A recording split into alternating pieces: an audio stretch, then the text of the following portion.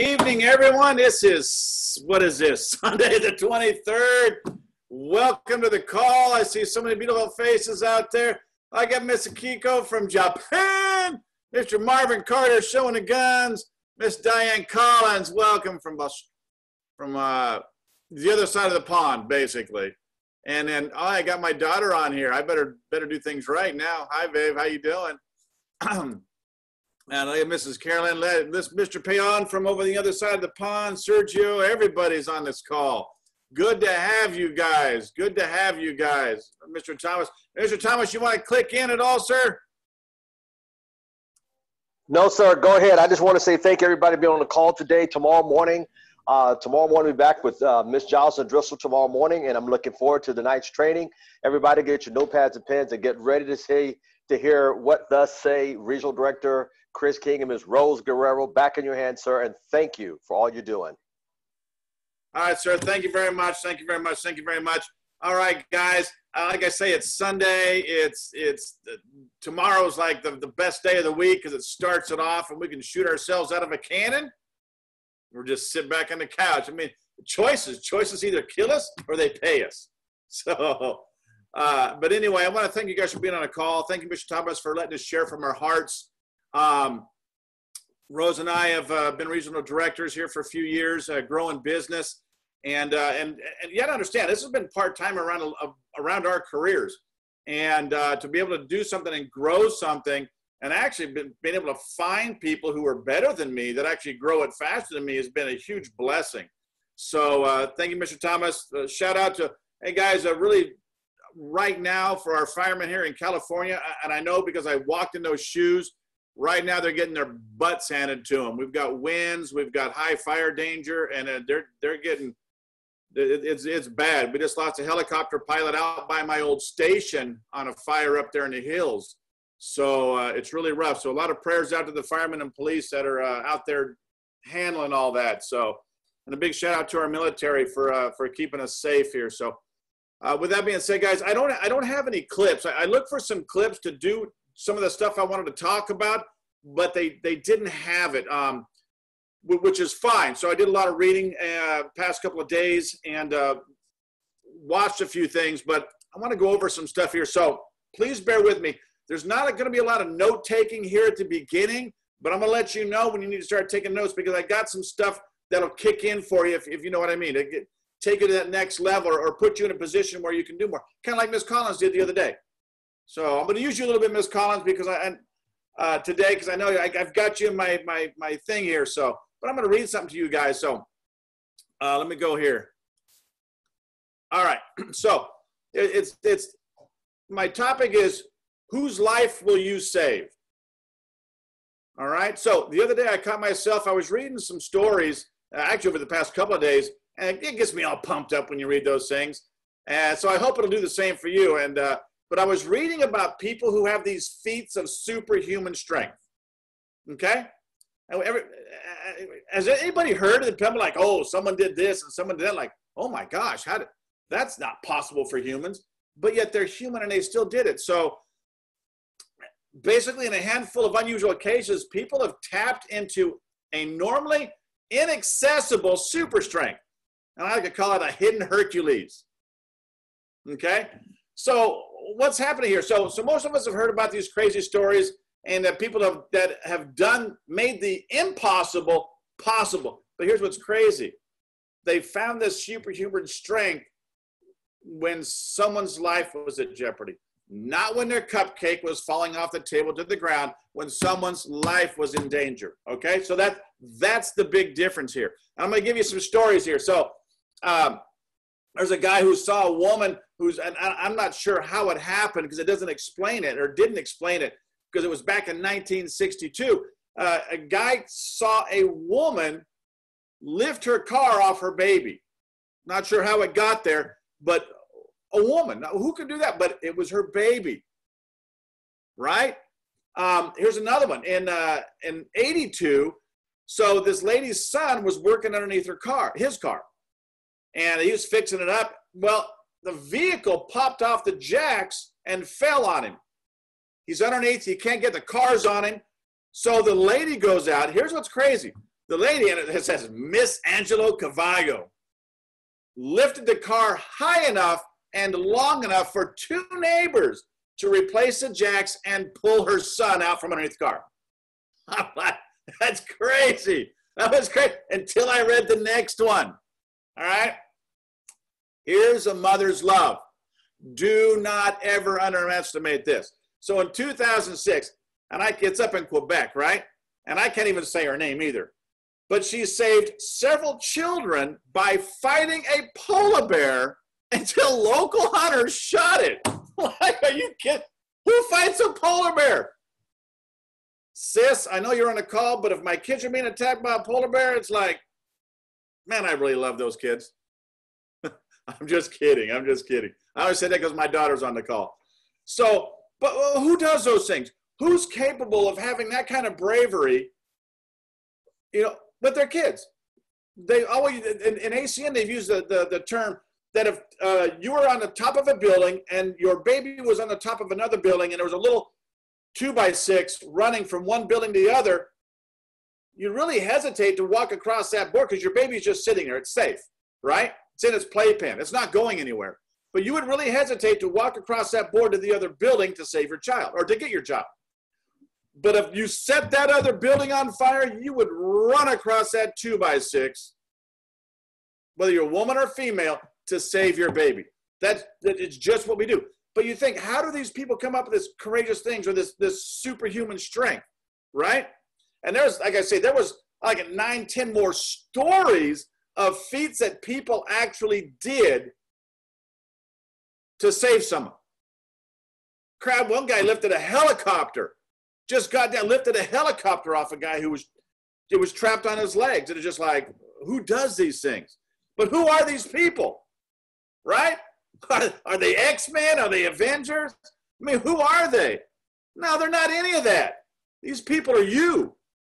These people are us. This people, it's who it's what we have uh, capable inside of us. You understand what I'm saying? It's what's capable inside of us. So this should give you an idea about the strength, right?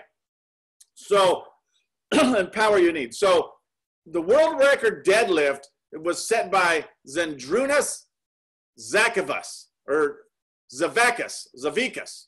I mean, that sounds powerful, right? Zavikas. That's like this guy, like Greek, you know, warrior, right? So the world record is set at 1,155 pounds, or Ms. Collins at 524 kilograms. Okay, so we're we're talking about 1,500, 1,155 uh, pounds is the world record deadlift. This is someone who eats right, trains right, and is in it 24 7 to get where you don't set a world record by this being a hobby. so this is what he does. Now, the vehicles and the objects we're talking about, about the people lift up, were roughly around close to 3,000 pounds. And that's about a thousand kilograms, Miss Collins. So trying to help out our, our people across the pond with the kilogram thing. So, um, and these people, look, they're untrained. They don't eat right, but they had an enormous why. Enormous why, okay? So how is Hercules' strength even possible? Well, one of the major clues, and this was a study. So what I read was a study. So it had, it didn't just have someone's opinion. It had studied facts. but what the uh, the researchers said is the one major clue is that humans are quite simply stronger than we realize. Crazy, right? and we were exert our muscles to or beyond their absolute maximum, we would tear muscle, ligament, tendons, and break bones, leaving us in dire straits. So the one thing is our brains, right? Well, Mr. Thomas always telling us it starts here, starts here, right? Our brains are always trying to make sure we don't push ourselves too far so that we damage ourselves. Your brain. Well, that phone call is going to be too tough. That customer will never become, or that person will never become your customer. You see what I'm saying? Right here, your brain's to keep you safe. Okay? But make, make, make, make, no mistake, there is something to be said about superhuman strength at the time people face life or death situations. Now, I pray all of you never have to be put in that situation. Um, there was times we ran on a fire line um, or, or in vehicle accidents and things were happening. And when you're in it, you don't know, you know, everyone's just doing what they got to do to, to, to keep everybody safe. But, you know, we could have, but I, but I pray you guys are never, I know what those situations are like, and I pray you guys never have to be in those situations. All right. But here, here's my question. Where is your superhuman strength? When it comes to your why, yours or your family's lives, the time you're able to spend with them, money so you no longer have to work overtime to work two or three jobs or live paycheck to paycheck? When is your success or failure in this business going to be treated like a life and death situation? In one of the previous stories, uh, going to show you the possibilities that you can do something that's not superhuman. See? So all those stories about superhuman strength. Now I'm going over here to your why being superhuman, but your actions aren't. Because it's not, it's not superhuman to work two hours a day. When you're done with your job, you're end of your day, you're exhausted. And Miss Collins proved that. She made it happen. She talked about that the other day. Amazing. How about getting uh, uh, uh, where? I'm sorry about that. Let me catch my place here. Uh, how about getting online to open up your possibilities for uh, to, to, to uh, acquire more names and numbers, people who are interested in, in doing something outside of what they're doing, right? How about calling five people? That this is not superhuman stuff. How about getting a new customer? Not superhuman. How about reconnecting with an old IBO to see where they stand and where they're going? Not superhuman. That was no superhuman strength. You didn't lift a 5,000 up to 3,000 pound car, a helicopter.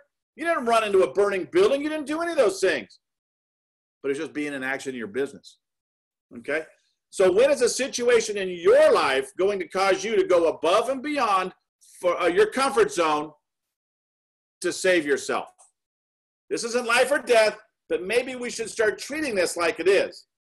Heck, if it gets us into action more, maybe we should start treating it like that. Okay, scientists have already, all scientists, like I said, have already proven we can do more. And doing what we do in ACN is not going to cost us our life. So let's do this together, guys. Now, if you, if you think about it, how do these people do something superhuman? Okay, remember the brain, the brain, right? Because these guys didn't have time to think about it. They had no time to analyze the situation. They had no time to check to see if the scene was safe. They just reacted. See, the problem is we think too much.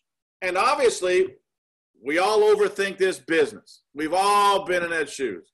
If you're not shaking your head right, you're lying to yourself. Okay? Here's something to make that, that might help you guys. And now is where you want to make sure you start taking notes. Because here's an idea, right? So have you ever considered like being in, those stories with your business. So if you think about the business, those guys just reacted. Something happened, boom, they just reacted, and a life was saved, right? Something happened, boom, pulled someone out of the way of something falling. It, it, it happens all the time, right? No time to think. What if you utilize the five second rule and just reacted?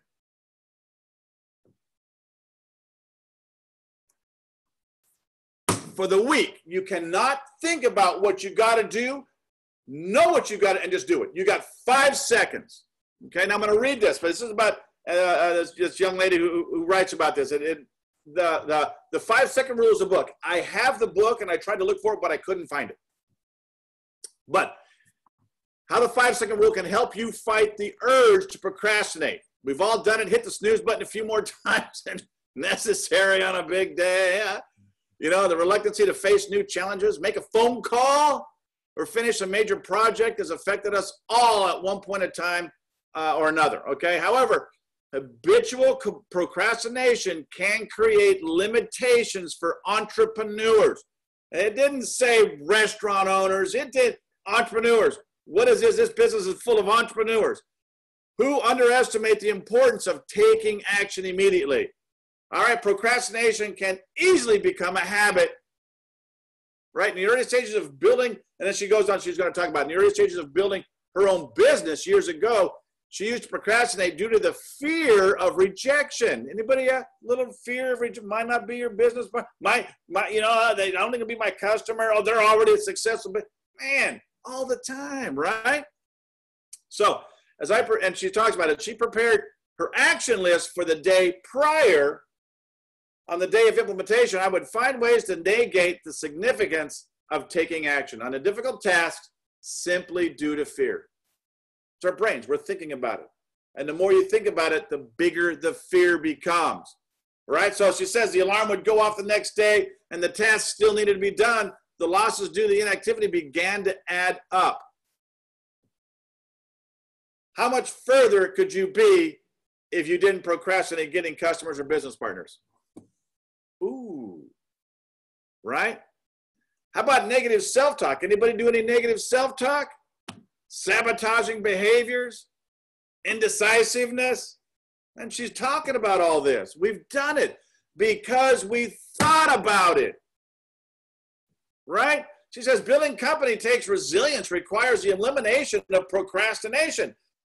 I'm going to say that again. Building a company, building your ACN business takes resilience and requires the elimination of procrastination.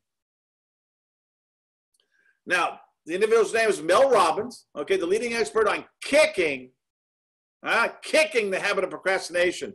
And that's the best selling author of the five second rule. Sound advice in overcoming the habit of doubt by using a simple technique to conquer each day. Simple. So we all have it. Now, what's the simple technique we need to conquer each day, right? So the book provides a unique approach to eliminating procrastination by cutting down to hold you accountable.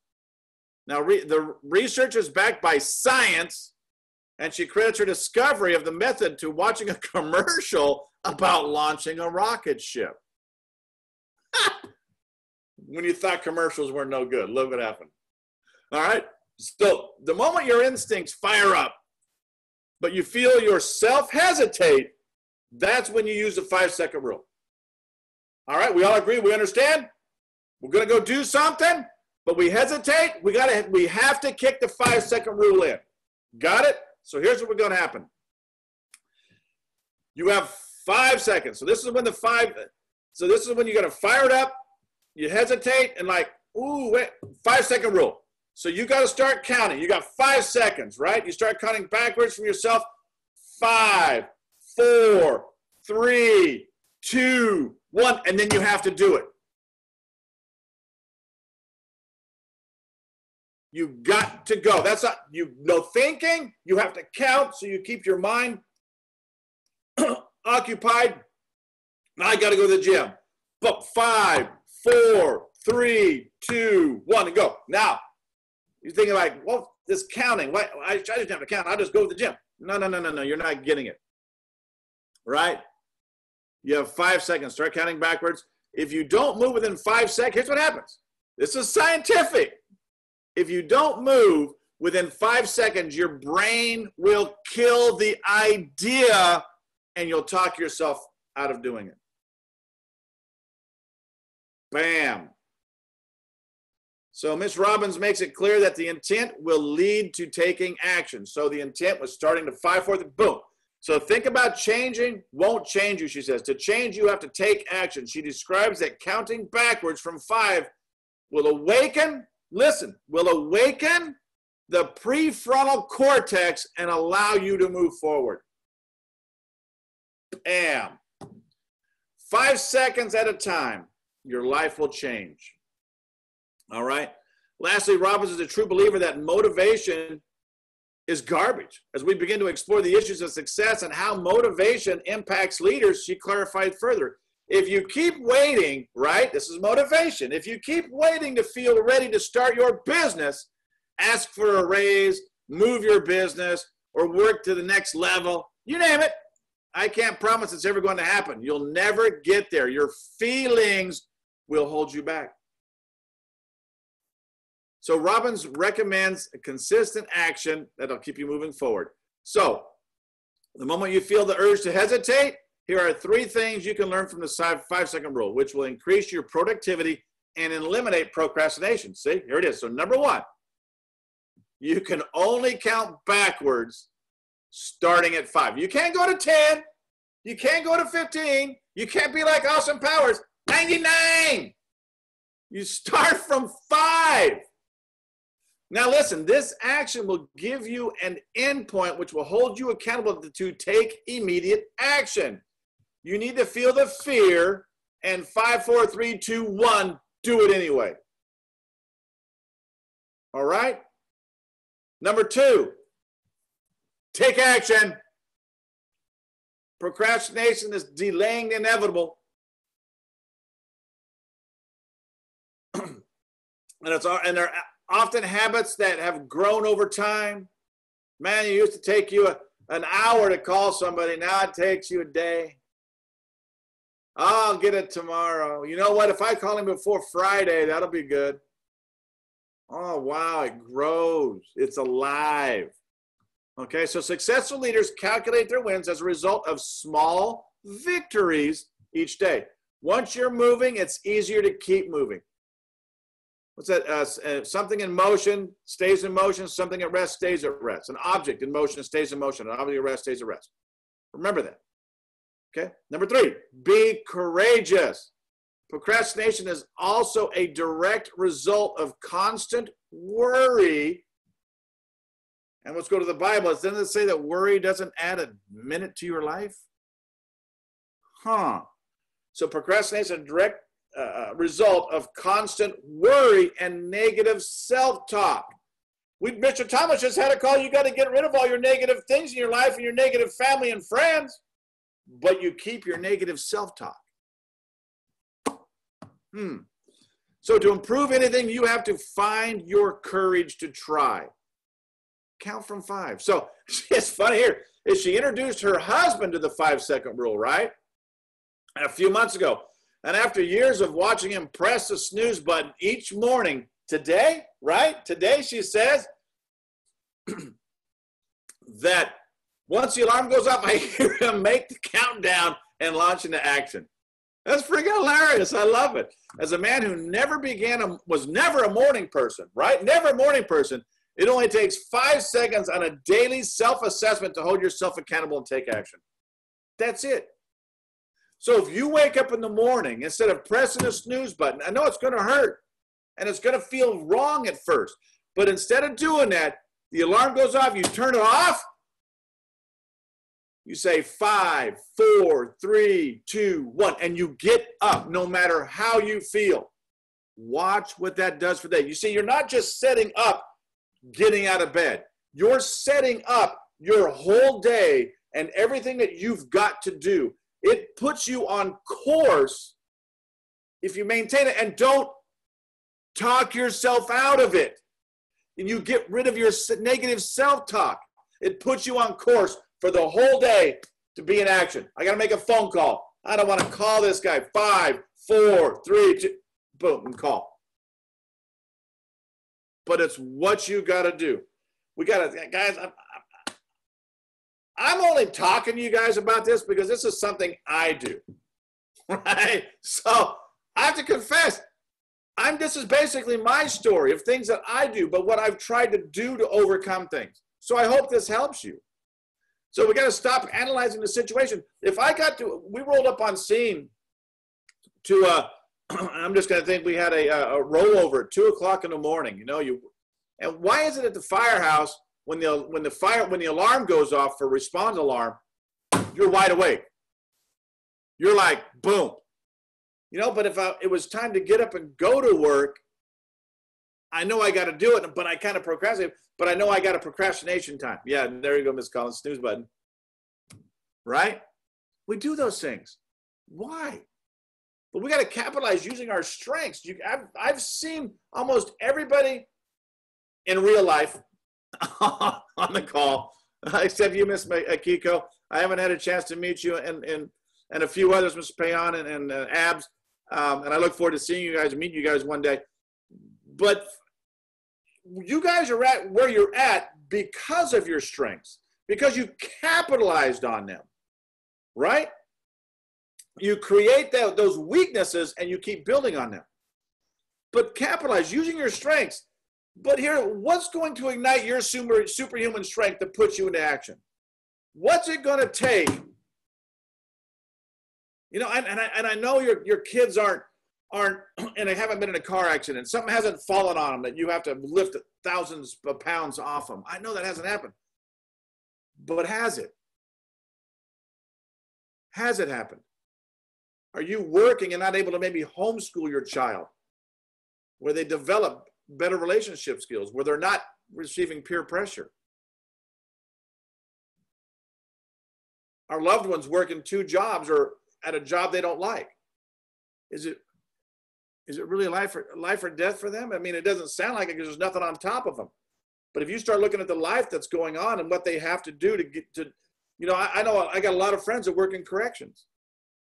They're correctional officers at a prison. Like, hey, hey, bud, how's it going? How you doing today? Oh, good. How's work? Oh, man, it's good, Chris. It's good. Man, dude, you're lying. I tell them straight to their face, you lying. That's an impingement on your soul. Yeah, well, you, yeah, uh, yeah, but it pays the bills.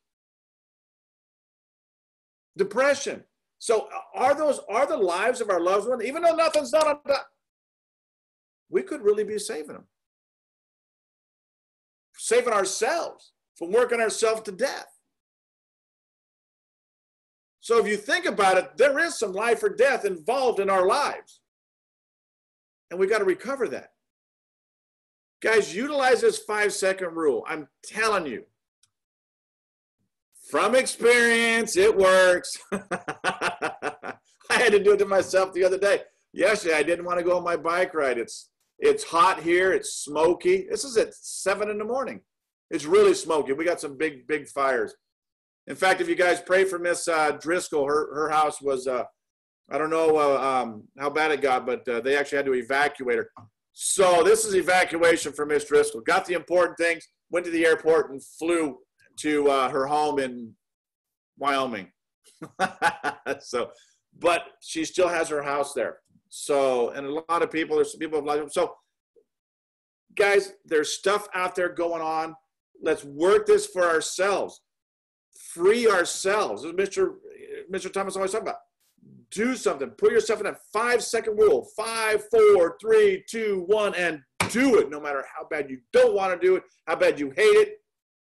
I had to call someone the other day. He called me and, and he's a customer. He's already a customer, but he's always got these questions. I'm like, oh man. I had to do it. We got to take care of our people. That, that's what a servant does. You don't always want to be a servant, but sometimes you have to, to be a servant when you don't want to. Where there's other people out there to help. I didn't always want to put all my hot gear on and go out there and cut someone out of a car, but they needed my help. And that's how we have to look at this. Someone needs your help. There's people out there who are struggling. Their lives They've got a 3,000 pound car on top of them. And unless you talk to them, they're going to perish. So it's nothing we can't do. We listen off phone calls, showing the plans, not life. It's life altering, but it's not life threatening. Mr. Thomas, that's all I got, boss.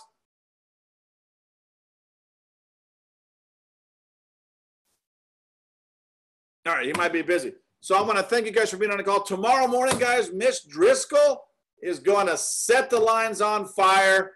Um, she's always got something amazing that, that she's going to talk about and something that's on her heart.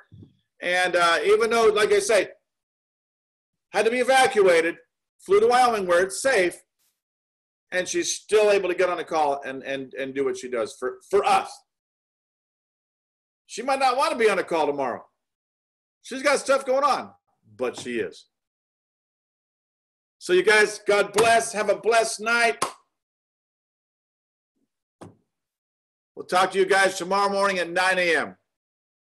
God bless.